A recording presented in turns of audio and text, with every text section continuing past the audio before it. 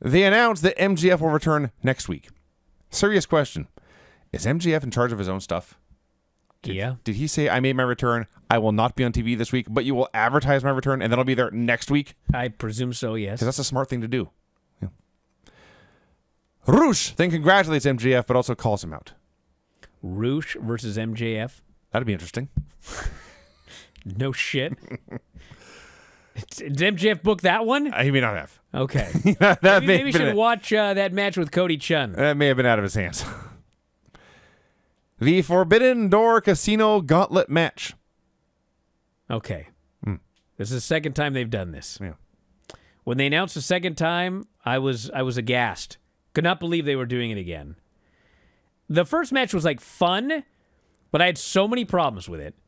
And the main problem with it was it felt like a TNA match from like 2009 because it was just a wacky match. It was called a gauntlet even though it's not a gauntlet. And nobody knew anything.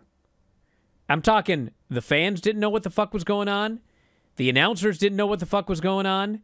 They announced it was a casino gauntlet match with sudden death rules. Everybody was baffled. Like the announcers were asking each other, "Is this the last guy?" I don't know. How many guys are there? I don't know. What are the intervals? I don't know. Nobody fucking knew anything. They, they did at one point early on announce there will be random intervals. Yes. hey, at least they said it. Well, that's my point with this one here. Yeah. So the first one happened. I see. Okay. The first one happened, and as I watched it, it just felt like this is fucking incompetence. Like, get your fucking act together. How many guys are there? Tell us. Put a goddamn clock on the screen or whatever. And I was like irritated. Like, fuck. We don't know what the fuck you're thinking when you do this. Like, you got to tell us some shit. So, this one starts, okay? And I, to be fair, I didn't learn this till later. At one point, they did announce that there would there were conceivably 21 men, because it's that's the casino part of it. 21. I see. Okay, so they did announce that, but they didn't tell us who.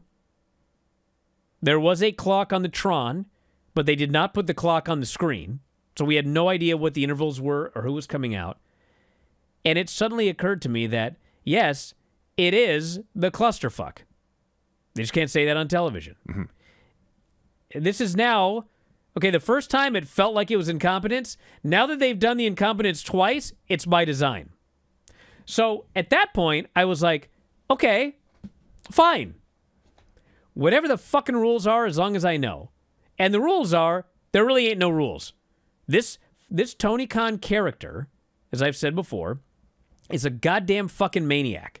That's his character. Yeah. He's a crazy psychopath. He's like Dario Cueto. I was just gonna say, yes. except much crazier.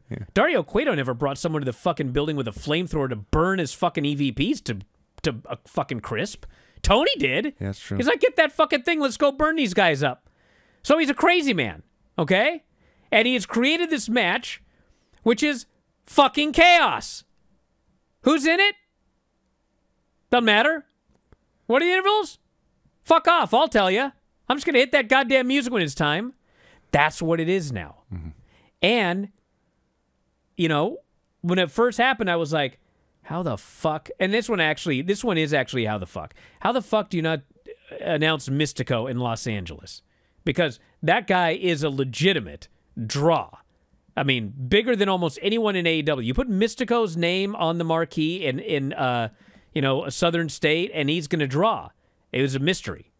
But you know, part of me when it was starting was thinking, why didn't you just give us like a rundown of who was going to be in it? Like, say, you know, if you go to the show, you're going to see all these stars. They didn't do that. But then as I'm watching, I'm like, I like it. These the fucking Hechicero is out here. Shota Umino. Fucking Shota Umino is in it.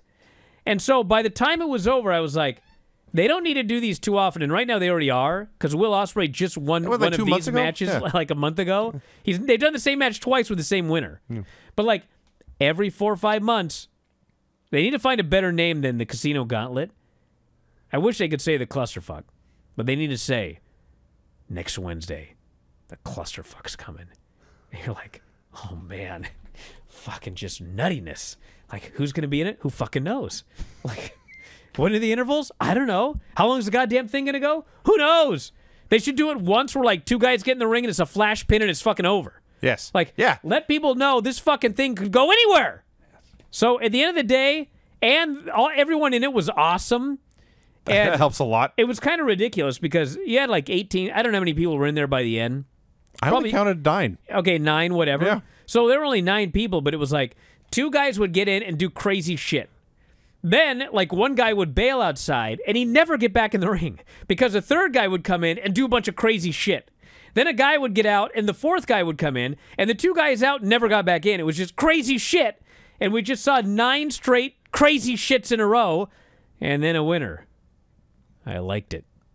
So the first two were Jay White and Pac. I do want to say, real quick before the match actually starts, uh, no one on TV has used the phrase Bullet Club Gold in months and months. It's called the Bang Bang Gang. But Juice came out still wearing a Bullet Club t shirt. So apparently the affiliation. No one smartened him up. He's been gone. Yeah, or the aff- affiliation is still official. So Pac versus Jay White goes exactly like you think it would. Pac beats his ass for all five minutes, or however many minutes it was. Mystico is number three. He runs wild. The crowd loves him, and we. It's kind of it- it's not as extreme as we were talking about with Tanahashi at uh, Collision, where this is clearly the 2024 version of the guy. Like you go back and watch 19, uh, 19, but uh, 2004 Mystico and watch this. It's not the same person. It is the same person, but it's been a rough 20 years. But uh, still look good. And in the end, uh, he actually pulled off. He actually botched the springboard the first time, but hit the springboard. The, the hit the springboard, and the hurricanrana onto the floor where he lands on his feet, which is still just insanely awesome. So he still do some some great stuff. They go to commercial. They come back. Will Ospreay is immediately number four. Biggest reaction all night. Biggest star of Oh the yeah, entire he's night. the biggest star in the company by by miles at this point. Yep, yep. And then uh, seconds later, because they had to get you know guys in there after the commercial break, Shota Umino is number five. So we have three AW, AEW guys plus stars from Mexico or a star from Mexico and a star from Japan. I'm thinking, all right, we can get Michael Oku in there to be a star from Europe. Maybe someone from soft ground wrestling in Uganda. Unfortunately, that was not to be. Uh, and then immediately, as, as soon as I'm watching Umino and Ospreay, I said, you know what? We're good with five. Don't bring anyone else into the ring. Let these two wrestle. That's all I need to see. Claudio Castagnoli was six. He is frantically chasing Jay White. As he's running him down, he's kicking everyone else's ass on accident along the way. I laughed at that. He puts Jay in the giant swing. We go to commercial two. Then Lio Rush is seven. He does some fun big man, little man stuff with Claudio. Orange Cassidy is eight, all bandaged up after his uh, encounter earlier with Trent. Of course, this maniac Tony Khan would send this guy out all beat up. He doesn't care. Get your ass in there and cluster this fucking thing up. Hechicero is nine. I believe he's the last man in, unless I missed somebody, as possible. Hechicero gets in this ring. He does 800 wildly different but equally awesome things. Yeah, he was my favorite guy. In the God, it was great. He was my favorite guy in the match. Mystico does some Mystico shit. The place is going crazy. Pac is running wild. Juice runs out to screw Pac again, and then he runs to the back. Just stay out there. Help your buddy Jay. So Jay is about to pin Orange. Ospreay lays him out with a hidden blade. Ospreay does some Ospreay shit on Orange, pins him with an OsCutter. Incredible main event. Better than a lot of stuff at the pay per view, and that was a good pay per view. Yeah, I liked this a lot. Then Swerve came out and they had the stare down. And uh, I don't know what the fuck's going on because It seems way too early for either of these men to lose. Well, well, I mean, Ospreay's losing. I mean, if Ospreay is winning the title, there's absolutely no earthly reason that you should do it here and not in Wembley. So the fact that they're not doing it at Wembley tells you Swerve is winning. Okay. So then the next question is, well, are they doing a rematch at Wembley? If they're doing a rematch at Wembley, like it's just bizarre because how does Ospreay go from losing to getting a rematch? And the idea people have mentioned is, well, he wins the Owen Cup. But the Owen Cup, the the finals are the Wednesday, a week from Wednesday after the pay per view. So unless they wait until after the pay per view to start the Owen and put Ospreay in because he, you know, he lost his title shot, so he's going to try for another one. You'd have to do the entire tournament on one Dynamite, one Rampage, one Collision, and then the finals the following Wednesday, which you could do, but it seems rushed. So the other option is, well, if you start the Owen before the pay per view, then Will Ospreay is the international champion, getting a world title shot on pay per view, while simultaneously in a tournament to get a shot at a title that he could win at the pay per view. That doesn't make any sense. Well, no. So the other option is he's actually not going for the world title at Wembley, and he's going to, uh, you know, lose to Swerve and have to face somebody else at Wembley, get a win there, and then uh, go on down the road to another one. So I don't know which one it's going to be, but uh, it is weird. And yes, for those of you wondering, we are going to have an Owen Hart Cup and a uh, tournament for the uh, whichever title it is, TNT title. So we have a men's tournament, a women's tournament, and a TNT title qualifying match tournament. Three going on in June. That's a lot of tournaments, dude. Tournament mania. Yes. Yeah. Yeah. I can only assume that if Ospreay is going to lose in this title match, then that means that will be the day that Callis screws him. Could be. Because there's no way I beat him. Personally, I would not have him lose the rest of 2024, but here's the match they've booked, and they got to figure out what to do. Hey, if you love this clip, have I got a deal for you? WrestlingObserver.com. Do you have a commute? Do you work out at the gym? Do you like listening to audio on your headphones or your earbuds or whatever the kids use today? Well, WrestlingObserver.com will give you all the audio you'll ever need in your life. Over 15,000 audio shows. Every audio show that we have ever done, dating back to 2005, is available for subscribers at WrestlingObserver.com.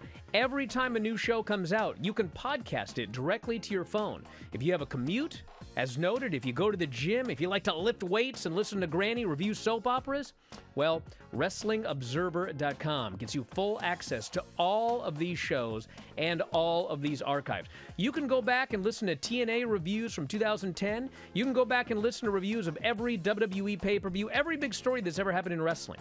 You can get access to that at WrestlingObserver.com. Plus, Full access to the Wrestling Observer newsletter every week. 40,000 words of news and information in pro wrestling. Why get all your scoops off Reddit, which aren't even accurate most of the time? Go right to the source, the Wrestling Observer newsletter. You also get Observer archives dating back to 1990. So check it out today. Thousands of issues of the Wrestling Observer newsletter, tens of thousands of hours of audio, all for $12.99 per month or as low as $9.99 if you sign up for a year. You'll never, you'll never run out of audio if you subscribe to WrestlingObserver.com. So head up there, check it out today, and I'll talk to you again after a while.